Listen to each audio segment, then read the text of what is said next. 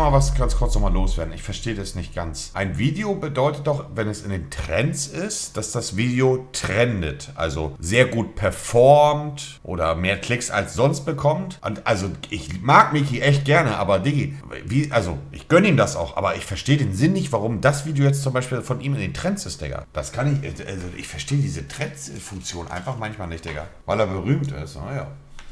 Keine Ahnung, weiß auch nicht. Also sei ihm auch gegönnt. Sag mal, welcher Fisch war das denn? Hm, oh, wollen wir da mal reingehen oder was? Matthias Malmedi, immer sympathisch, der Typ, Digga. Wir wollten ja eigentlich F8 Tributo fahren, ne? Was fahren, also was gucken wir uns denn jetzt eigentlich an? Wir haben ja noch eine kleine Überraschung bekommen hier vom Matthias einfach sehr sympathisch, Digga, wirklich. Chef. Ja, lass dich überraschen. Gilt auch für dich. Abwarten. Also, Luke Sportivo. Wir gucken uns mal ganz kurz, gucken uns mal ganz kurz ein bisschen um, was es hier so alles gibt, Frankie. Wir haben da hinten ein paar Pista gesehen, ne? Ja. So, jetzt erzähl mal. Ja, jetzt erzähle ich dir mal. Farbe? Also, welche Farbe vom Pista würden wir nehmen? Also, wir haben hier einmal alles in Grau, Boah, schön Digga. matt, Schon ziemlich sexuell erregend. finde ich ultra. Schwarz mit rotem Dekorstreifen. Und rot. Geil. Boah, das ist brutal. Oh ja, das ist wirklich brutal. Das ist Holy moly. Die Kombination, Digga, mit den roten Streifen und mit dem roten Interieur. Ui. Das ist richtig krass. Sieht auch gut aus. Ne? Könnte ich mir gut vorstellen. Könntest du dir also gut vorstellen, ja? So, dann haben wir hier Außenrot mit grauem Dekor. Boah, die sind schon. Das ist nicht so meins. Weißt du was? Also ich bin entweder bin ich der da Nee, Digga. oder der da. Ja, Digga. Ja. Was bist du für eine Farbe? Ferrari muss für Wenn ich mir davon einen aussuchen dürfte, dann würde meine Wahl wahrscheinlich zwischen den schwarzen hier mit den roten Interieur, den roten Streifen oder der graue. Ich glaube aber, ich würde den grau nehmen, Digga. Also der sieht schon, der sieht schon brutal aus, Digga. Ja. Was bist du für eine Farbe? Ferrari muss für mich rot sein. Also zumindest die Form. Ja, also ein Roma oder so müsste sieht jetzt nicht rot sein, aber die Form finde ich muss schon rot sein. Okay.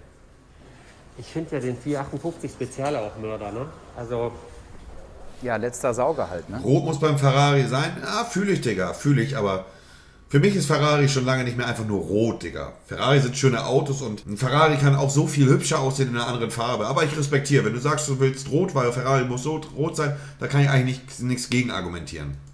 das ist der letzte Sauger. Genau. Was haben wir denn hier? 298. Ähm, Farbe, Farbe, Farbe. Azura California. Aber auch geil. California. Das Auto ist sechs Jahre alt, Sechs Jahre, März 2014. 825 Kilometer. 825 Kilometer. Ah, ist okay. unser Auto, Frankie. Ist noch nicht mal eingefahren, das könnten wir dann machen. Alter, das Digga, wer kauft sich ein Auto, hat das sechs Jahre und fährt das nicht mal ein? sieht Hammer aus mit den goldenen Felgen. Was nimmst du jetzt für eine Farbe vom Pista? Also wenn wir uns jetzt mal... Ich würde tatsächlich. Sammler, So, ja. Du hattest, glaube ich, gesagt, dass Ja, ich bin da nicht äh, in der Thematik. Kann natürlich sein, dass er ihn damals für 200 gekauft hat und jetzt ist er 300 wert. Keine Ahnung, Diggi. den roten nehmen würdest, Ja. ne? Dann nehme ich den gelben. Ja, guck. Dann brauchen wir jetzt noch einen, der einen schwarzen nimmt und dann können wir quasi zu dritt Ja. durch die Gegend. Aber ich, wenn ich es dir ganz ehrlich sagen soll, wenn ich mir einen aussuchen dürfte, würde ich den dann nehmen. Echt? Und zwar mit nach Hause. In Weil der dieser Farbe? Sa ja, in der Farbe. Es ist mir, ich liebe Blau, wie man vielleicht sieht. Du liebst auch Blau, du bist auch von Ja. oben bis unten blau. Also das ist mega, das Auto. Und vor allen Dingen der letzte Sauger. Das stimmt. Ich würde mit dem Grauen gehen, Digga. Diese Sauger, Alter, das Vom Ding. Sound her. Sind ja, die, in, sind die in der denn? Reihe. In der Reihe. Ja, ja, aber wie sind die denn von der Preisentwicklung? Kann man sich sowas wegstellen? Ja, also jetzt mit 825 Kilometern, äh, das Auto ist wie neu auf jeden Fall. Steigt der weiter im Preis? Müsste doch eigentlich. Kannst du heutzutage nicht mehr belastbar sagen, aber ich denke schon, also Geld verlieren tust du mit dem Auto nicht. Alles klar. Der Graue, Also Digga. Du siehst ja, hier steht ein Speziale und hier stehen fünf Pista. Ich meine, das spricht schon Wände. Daran siehst du es schon. Genau. Ne? Ja. Wieso drehst du dich eigentlich immer weg? da hinten sind auch noch, hier hinten, finde ich ziemlich geile Autos. Ja, dann komm, dann gehen wir da mal rum. Gönn dir doch, Bruder, ich habe in der Garage ein Lambo. Wenn ich mir irgendwann ein neues Auto gönnen sollte, dann wird der Lambo weggegeben und ich bin nicht an dem Punkt, wo ich aktuell sage, dass ich ein Lambo groß weggeben möchte. Aber das ist jetzt zum Beispiel so ein Auto, der müsste jetzt nicht rot sein. Ja, der ist ja auch Gott sei Dank nicht rot. Oh. Also, nur mal ganz kurz, ne? Da steht ein SF90 Spider. Die Präsentation von diesem Fahrzeug ist heute und wir werden uns das Auto gleich angucken. Einmal Walkaround SF, Alter, Nee, neue Garage bauen. Also, wenn wäre ich eher sogar, also ich sage euch ganz Real Talk mäßig jetzt, es wird nicht passieren, dass ich mir in den nächsten, also nächstes Jahr beispielsweise ein neues Auto kaufe, Digga. Eher würde ich tendenziell dazu hingehen, den Lambo zu verkaufen, beziehungsweise wegzugeben und mir eventuell noch ein zweites Auto zu holen, auch für den Alltag. Ich habe jetzt eine S-Klasse und ein Lambo. Beides sind Autos, die ihr alle kennt. Beides sind Autos, mit denen ich extrem in der Öffentlichkeit auffalle, weil ich natürlich eine gewisse Reichweite habe. Wenn, würde ich eher tendenziell dazu hingehen, mir ein Auto zu holen. Lass es jetzt einfach mal, keine Ahnung, sagen wir jetzt einfach mal, ich würde mir eine G-Klasse holen von Mercedes. Oder ein Porsche Panamera. Es kann aber auch sein, dass es nur eine, nur eine neue A-Klasse wird. Oder ein 1er BMW. Das Auto spielt in dem Fall eigentlich keine große Rolle, welches ich mir holen würde. Der Fakt würde aber eine Rolle spielen, ich würde das Auto niemandem zeigen, Digga. Damit ich einfach auch mal in Ruhe fahren kann. Wie findest du die Farbe? brutal gut. Wahnsinn, oder? Erinnert mich ein bisschen an M. Ja. Wie heißt die Farbe nochmal auf dem M3? In über eineinhalb Jahren bin ich um die 4000 Kilometer gefahren, Digga. Das ist nichts. Der ist neu noch. E46? Du meinst Dakar-Gelb? Nein, das heißt nicht Dakar-Gelb, das heißt anders. Wie heißt das denn? Das Gelb? Ja, den M3 E46 gab es Phoenixgelb. Phoenixgelb. Phoenixgelb Das kann sein. Jetzt dürfen wir tatsächlich SF90 Spider angucken, Leute. Alter Schwede.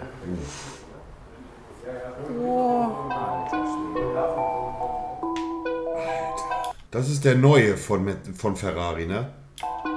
Ui.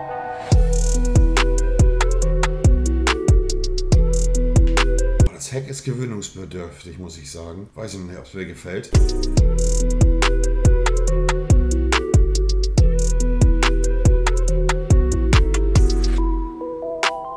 Von vorne gefällt er mir. Ach du Ah, doch, der hat schon was, Digga. Der hat schon was. Wie sieht das Auto aus?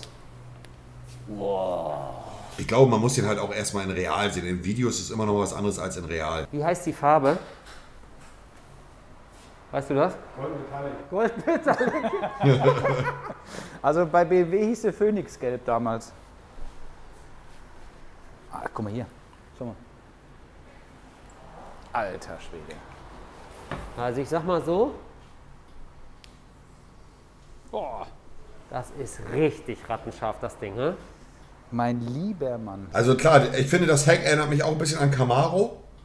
Aber letztendlich, Digga, finde ich, sind Autos auch einfach, haben einfach schon einen sexy Punkt, wenn man das Auto anschaut und sich denkt, das habe ich so noch nicht gesehen. Und das hat das Auto auf jeden Fall. So in dieser Konstellation, auch mit der Farbe und so, habe ich so noch nicht gesehen. Und dann, wenn es schon was Neues fürs Auge ist, dann ist das schon etwas, Digga, was schon geil ist und ein Pluspunkt ist. Alter Schwede. Das ist Aerodynamik vom Feinsten, oder? Alter, wie genial das gemacht ist, ne? Das ist wahrscheinlich auch noch aerodynamisch verkleidet. Das glaube ich nicht.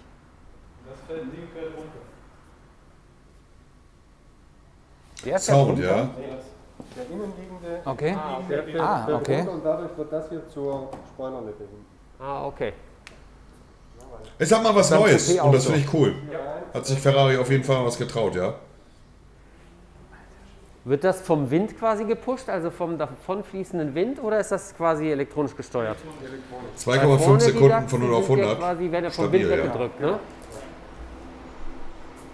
Mega Auto.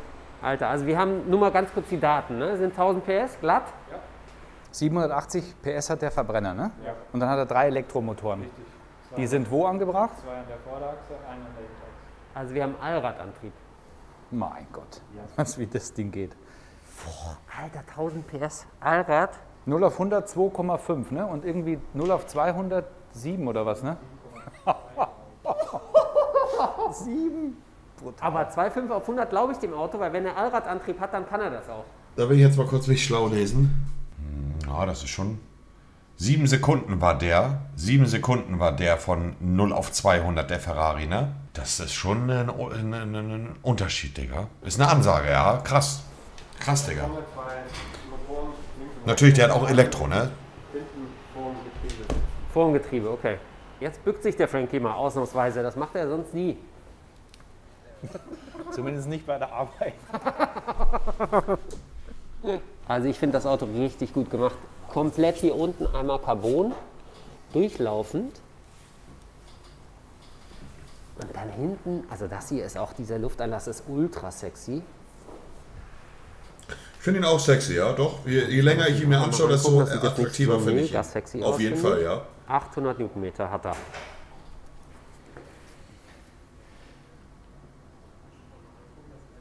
Lambo ist nicht Allrad, doch. Ja, das Problem hatte ja früher Alpha auch zum Beispiel. Ne?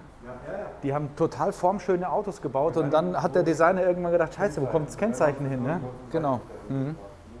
Also wo kommt das Kennzeichen hin? Vorne in die Scheibe hier, oder? Kennzeichen vorne kommt nach vorne und das hinten kommt nach Das finde ich zum Beispiel auch in Amerika geil. Ich weiß gar nicht, ob es überall so ist, aber in Amerika gibt es ja einige Staaten, Digga, wo man vorne kein Nummernschild dran machen muss. Und ich finde, Autos sehen so viel schöner aus, ohne Kennzeichen vorne, Digga. Ist nicht erlaubt, wird nur geduldet. Ja, die, ist mir doch egal, wenn's. Brudi, dann sehe ich mich da auch. Wahrscheinlich in die Mitte, ne? Ja, mittig, bisschen eine Halterung, die vorne ankommt und ähm, dann kommt das vorne drauf. Wird aber die Optik, ganz ehrlich, ziemlich zerstören, ne? Ja, ja auf jeden Wahnsinn, wie, das, wie schmal das ist. Gell? Irre. Kann man das Verdeck während der Fahrt auf und zu machen? Ja. Gut, 50 hast du nach 1,2 Sekunden. Aber musst du schnell sein mit dem Knöpfchen ziehen, ne? Ja. Frankie, setz dich da mal rein. Die Frage ist, fahren die den noch? Nochmal, einmal weg, jetzt nochmal die Wasserwasser.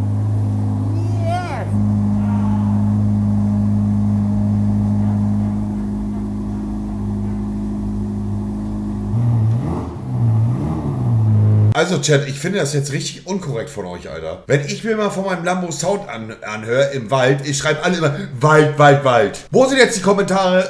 Halle. Kleiner 31er seid ihr. Ja, ja, jetzt braucht ihr nicht mehr Halle schreiben. Das, das merke ich mir auf meine Art und Weise.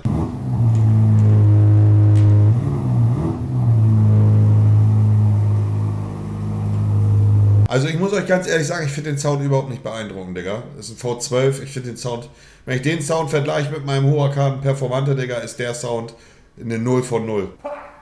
Also ich sag mal so, der Tag wird immer besser, Frankie. Leck mich fett. Vielleicht ist das Mikrofon auch scheiße, ja, stand da ja auch gerade was. Boah. Also damit dürften wir, glaube ich, eine der ersten Menschen auf diesem Planeten sein, die den FS, SF90 Spider anschmeißen durften, hören durften. Das ist richtig. Weil das ist heute ist Deutschlandpremiere. Das ist Premiere, ja. Also die Kunden dürfen heute das erste Mal gucken, anfassen, riechen. Okay, jetzt ist nur noch so ein bisschen Gequatsche, aber Matthias auf jeden Fall sehr sympathisch. Auch die Jungs, die um ihn herum waren hier aus dem Geschäft, haben einen sympathischen Eindruck gemacht. Gutes Video von Matthias, Digga. Und auch, wie ich finde, ein schönes Auto, Digga. Hat mir, ge- also finde ich schick.